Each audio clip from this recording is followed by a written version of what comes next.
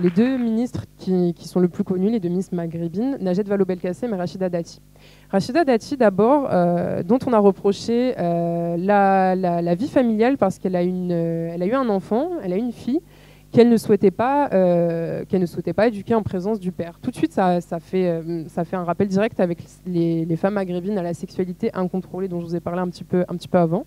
Ce qu'on a reproché aussi à Rachida Dati, c'est d'être intéressée par sa fonction, d'avoir détourné des fonds. Euh, ce qui nous fait un petit peu doucement sourire quand on est au courant de ce qui s'est passé l'année dernière.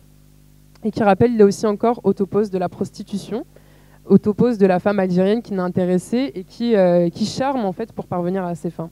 Najat Vallaud-Belkacem, elle, elle a été accusée euh, de pousser un agenda musulman et d'avoir eu recours à ses charmes pour avoir bénéficié euh, de la promotion, à savoir ministre délégué aux droits des femmes, à ministre euh, de l'éducation, qui est la fonction, enfin le ministère le plus, important qui a été occupé par une femme pendant, la Ve République.